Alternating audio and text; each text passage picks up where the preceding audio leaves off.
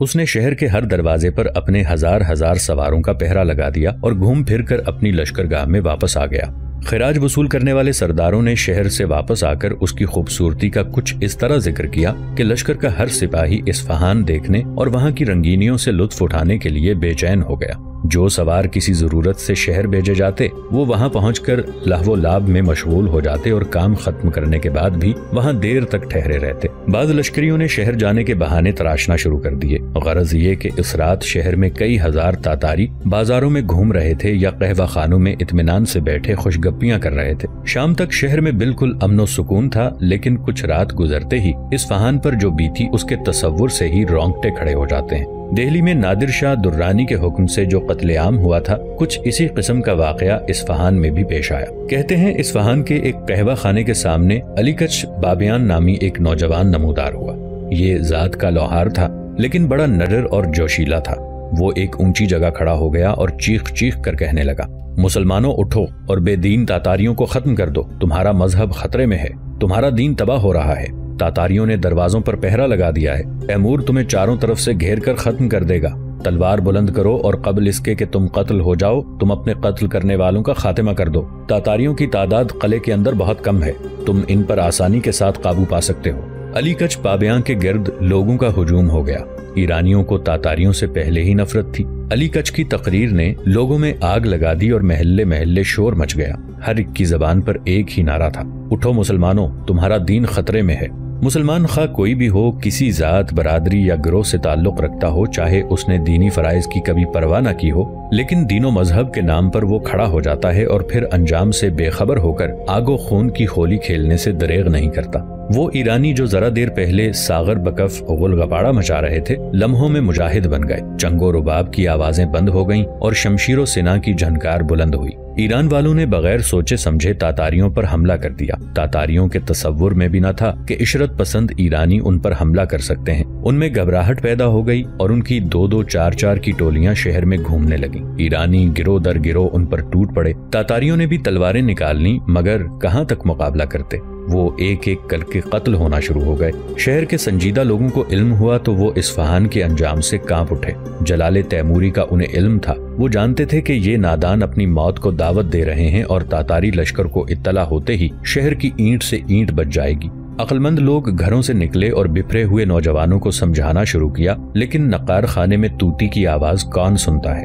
किसी ने उनकी बातों पर कान न धरे, उनसे मायूस होकर बाज इसफहानियों ने तातारियों को अपने घर में पना दी, और जब उनका घर घेरा गया तो वो बलवाइयों के सामने सीना सिपर हुए, लेकिन खुरेजी एक बार शुरू हो जाए तो फिर उसका रोकना नामुमकिन हो जाता है। तातारियों ने भागकर जान बचाने की कोशिश की। इस फहानियों को इसका पहले से ख्याल था। उन्होंने बलवा शुरू होते ही उन तातारियों पर हमला कर दिया, जिन्हें तैमूर ने शहर के दरवाजों पर मुतयन किया था। वहाँ तमाम रात दस्त बदस्त लड़ाई होती रही। शहर के अंदर आने वाले तकरीबन तमाम तातारी तह तेक कर दिए गए। इस फहानियों ने दरवाजे के तातारियों को भी कत्ल करके शहर के दरवाजे बंद कर लिए। इस तरह तकरीबन तीन हज़ार बेगुना तातारी महज एक बेवकूफ़ लोहार की आवाज़ पर कत्ल कर दिए गए। सिर्फ़ वो चंद तातारी बच गए जिन्हें शहर के शुरफा ने अपने घरों में बना दी थी। तैमूर की लश्करगाह इस्फहान के मुजाफात में थी। इस बलवे की खबर रात में तैमूर तक न पहुँच सकी। कुछ तातारी शहर से बचकर लश्करगाह में पहुँच गए थे, लेकिन ये वो लश्करी थे जो बगैर इजाज़त इस्फहान की सैर को गए थे। उन्हें डर था कि अगर उन्होंने तैमूर को असल हालात से आगाह किया तो पहले उनसे ही बाजपुरस होगी। इसलिए उन्होंने खामोशी अख्तियार कर ली। ये बात छुपने वाली कब थी? सुबह होते ही तैमूर को इसकी खबर मिल गई। तैमूर को जिस कदर जलाल आया होगा, उसका अंदाज़ा करना मुश्किल है। एक तरफ़ तीन हज़ार तातारियों का कत्लेआम ही तैमूर को मुश्तिल करने के लिए काफ़ी था कि उसे ये भी मालूम हुआ कि उसका एक जवां उम्र अमीर और बहादुर मोहम्मद भी मारा गया है। मोहम्मद मशहूर तातारी सरदार खताई बहादुर का बेटा था। तैमूर को इस कदर तैश आया कि उसने इस्फहान पर हमला करने का हुक्म दे दिया और सिवाय औरतों, बच्चों और बूढ़ों के तमाम लोगों के कत्लेआम की इजाज़त दे दी। सैयद मुजफ्फर शमसी चंद उमरा के साथ उस रात तैमूर की खैमागाह पर मौजूद था। उसे इस फहानियों की हिमाकत का इल्म हुआ तो उसने सर पीट लिया और इस फहान की भयानक तबाही का नक्शा उसकी आँखों में घूम गया। वो अपने अमीरों को लेकर तैमूर के पास पहुँचा। ये सब लोग सर खोले और गरीबान चाक किए उसके सामने गए थे। ये फरियादी की सूरत बनाकर गए थे। उन्हें उम्मीद थी कि तैमूर उनको इस हाल में देखकर शायद कत्लेआम के हुक्म में कुछ नरमी कर दे। मुजफ्फर और उसके साथी तैमूर के सामने सर झुकाकर खड़े हो गए। तैमूर की आँखों से चिंगारियाँ निकल रही थी। वो जख्मी शेर की तरह टहल रहा था। वो लंगड़ा कर चलता था, लेकिन उस वक्त वो इतनी तेज़ी से खेमे के एक कोने से दूसरे कोने तक जाता था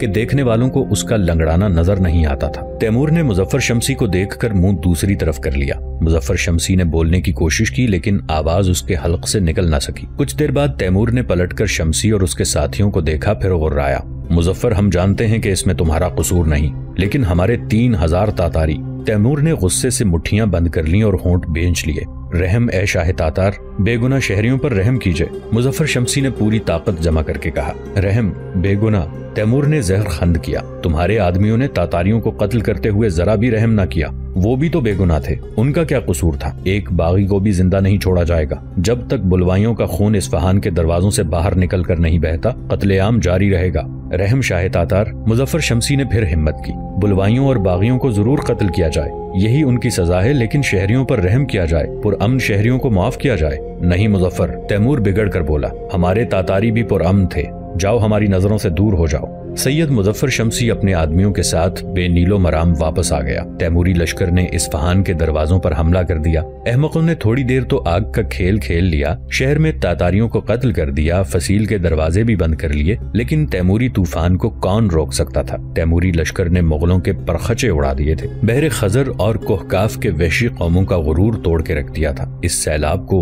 उनकी मामूली फसीलें किस तरह रोक सकती थी? सत्तर हज़ार के लश्कर ने चारों तरफ़ से यलगार की तो इस्फहान की फसील खसो खाशाक की तरह उड़ गई। फसील टूट गई, दरवाजे उखाड़ फेंके गए और खूंखार तातारियों का रेला हर तरफ़ से शहर में दाखिल हो गया। उधर तो शहर की फसीलें टूट रही थीं और इधर मुजफ्फर शमसी एक बार फिर तैमूर के सामने खड़ा गिड़गिड़ा रहा था। वो चाहता था कि शहर के जितने आदमी भी बच सकें, वो गनीमत है। आखिर तैमूर पर सैयद शमसी की मुसलसल इल्तजा और दरखास्त का असर हुआ। उसने कत्लेआम के हुक्म में जरा लचक पैदा की और नया फरमान जारी किया। इस फरमान की रूह से शहर के शुरफा मोजीन और इन महलों के लोगों को अमान दे दी गई जहाँ कोई तातारी कत्ल नहीं हुआ था, लेकिन साथ ही एक सफाकाना इजाफा भी कर दिया। उसने हुक्म दिया कि हर तातारी सिपाही एक इस्फहानी का सर काट कर हाजिर करे। तातारी लश्कर भूखे भेड़ियों की तरह टूट पड़ा। कत्लेआम शुरू हो गया। उन्हें अपने तीन हज़ार तातारियों का इंतकाम लेना था। फिर ताज़ा हुक्म यह था कि हर तातारी एक इस्फहानी का सर पेश करे।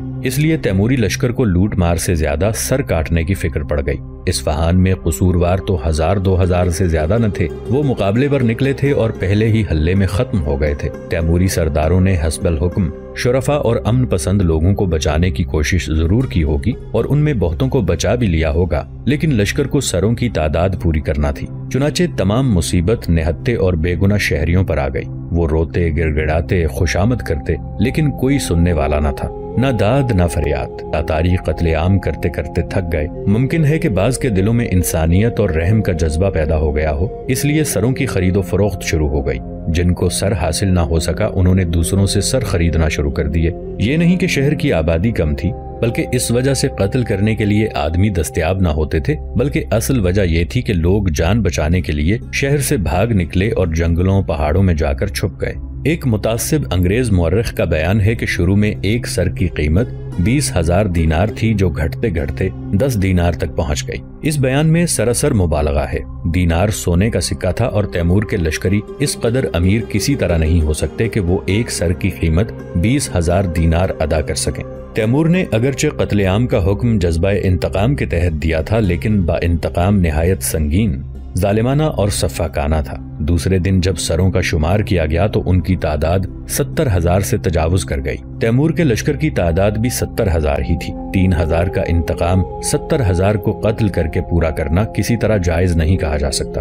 शायद तैमूर को इसी वजह से लर्जंदा जहाँ और सफाक कहा जाता है। तैमूर मुसलमान था और एक मुसलमान को इस कदर संगीन बदला लेने की मजहबन इजाज़त नहीं। हालाँकि उस दौर में दूसरे मजाहिब के फाते इससे कहीं ज़्यादा सफाकी का मुजाहरा करते थे। ब्लैक प्रिंस ने मलोक की ताराजी के बाद लोगों को जिस बेदर्दी से कत्ल किया, उसके तस्वुर से रोंगटे खड़े हो जाते हैं। डिनाइट के मुकाम पर बर्गेंडी चार्ल्स इंसानों का यूँ शिकार करता दिखाई देता है जैसे भेड़िया बकरियों का शिकार करता है। हमारे अंग्रेज़ आकाओं ने तमाम फ्रांसीसी कैदियों को महज इस वजह से कत्ल करा दिया था कि वो आखिरी मार्के से पहले उनसे फारिग होना चाहते थे। इसी तरह सलीबी जंग के अंग्रेज़, जर्मन और फ्रांसीसी सूरमाओं ने सर्बियाई और तुर्क असीराने जंग का तकोबोस की जंग से पहले कत्लेआम करा दिया था। तैमूर से पहले भी सरों के मीनार बनाए जाते थे। तैमूर ने भी उन बेगुना मकतूलीन के सरों को पहले मकानों की दीवारों पर नुमाइश के लिए सजवाया, फिर शाहराहों पर उनके मीनार बनवाए और इस तरह अपने गुस्से और जोश इंतकाम को ठंडा किया।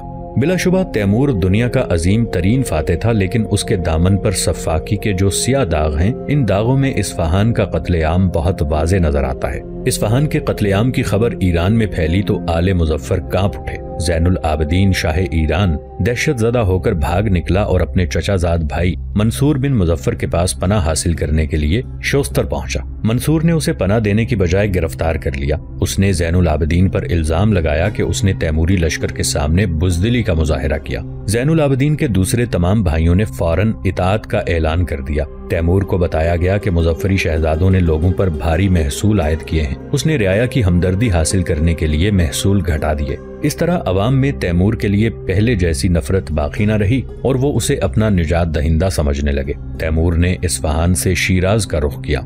शिराज में उसने एक बड़ा दरबार लगाया। तमाम मुजफ्फरी शहजादे उस दरबार में हाजिर हुए और तैमूर की इतात और वफादारी का हल्फ लिया। तैमूर ने उनकी रियासतों को खत्म कर दिया और हर रियासत को सल्तनत तातार का सूबा बना दिया। जो मुजफ्फरी शहजादा जिस इलाके पर काबिज था, उसे वहाँ का सूबेदार मुकर किया गया, जिनका हाकम आला अमीर तैमूर था। इस सिलसिले में तैमूर ने हर शहजादे को सूबेदारी का सरकारी परवाना अता किया। इस परवाने पर तैमूर की मोहर जब्त की गई। तैमूर की शाही मोहर सुर्ख रंग से लगाई जाती थी।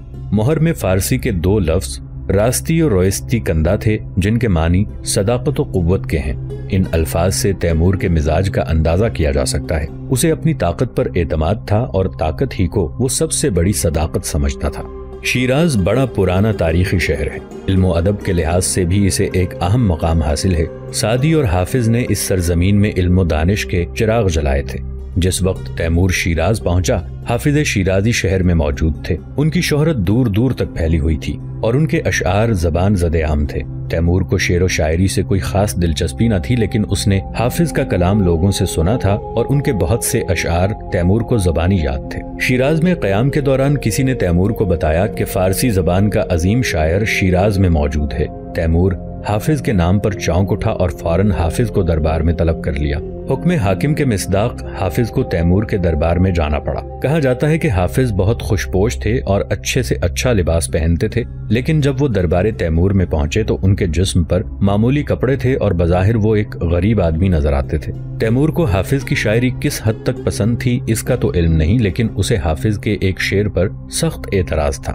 बस जब हाफिज सलाम के बाद तैमूर के सामने मुद्दब होके खड़े हुए तो तैमूर ने तेवरियों पर बल डालकर पूछा, क्या ये शेर तुम्हारा है? अगर आ तरक शीराजी बदस्तारत दिले मारा, बखाले हिंदविश, बख्शम समरकंदो बुखारा इसका मफहूम है कि अगर मेरा महबूब मेरी दिलदारी पर आमादा हो जाए तो मैं उसके रुखसार पर, चमकने वाले स्या तिल पर समरकंदो बुखारा को निछावर कर दूँ। हाफिज शिराजी को तैमूर लरजंदा जहाँ की जबान से अपना शेर सुनकर सख्त हैरानी हुई। उन्होंने बड़ी हैरत से तैमूर को देखा, फिर सर झुकाकर अदब से बोले, जी हाँ शहनशाह, ये शेर मेरा ही है। तैमूर बड़ी तलखी से बोला, समरकंद को हमने सैकड़ों कीमती जाने गंवाकर बजोर शमशीर हासिल किया है और अब दूसरे शहरों से नवादरात ले जाकर इसकी खूबसूरती में रोज बरोज चाँद लगा रहे हैं। लेकिन तुम कहाँ के ऐसे रईस हो कि इस अजीम शहर को शिराज की किसी दो कोड़ी की छोकरी को बख्शे दे रहे हो? हाफिज ने तैमूर के चेहरे पर नज़र डाली तो उन्हें खफगी के आसार नज़र आए। वो बहुत घबराए और समझ गए कि आज बुरा दिन है, जान बचना मुश्किल है। फिर भी उन्होंने हिम्मत से काम लिया और जरा तवक्फ से बोले ए अमीर तातार और शाह शाह, मेरी इन शाह खर्चियों और गलत बख्शियों का ही तो नतीजा है कि आज अमीर के दरबार में आने के लिए मेरे पास ढंग का कोई लिबास भी नहीं बाकी रहा और एक मुफलिस और फकीर की तरह हाजिर दरबार हुआ हूँ। हाफिज शिराजी की जहानत ने उनकी जान बचा ली। उनके इस बरजस्ता और बरमहल जवाब से तैमूर बहुत खुश हुआ और उसका गुस्सा काफूर हो गया और उसने हाफिज को दरबार से इनामो इकराम देकर बड़ी इज़्ज़त से रुखसत किया। हालाँकि तमाम दरबारी हाफिज शिराजी की सलामती की दुआ मांग रहे थे। तैमूर की शक्ल, सूरत और किरदार बड़ा मुतनाज़ा रहा है। आम ख्याल ये है कि तैमूर दराज कामत था। उसकी पेशानी बुलंद और चेहरा बड़ा था। वो जितना बहादुर था, ताकत के लिहाज से भी उतना ही ज़ोर आवर था। उसकी रंगत निखरी और जिल्द गोरी थी। शाने बड़े, आजा मज़बूत और उंगलियाँ कवी थीं। दाढ़ी लंबी थी और हथेलियाँ खुश्क रहती थीं।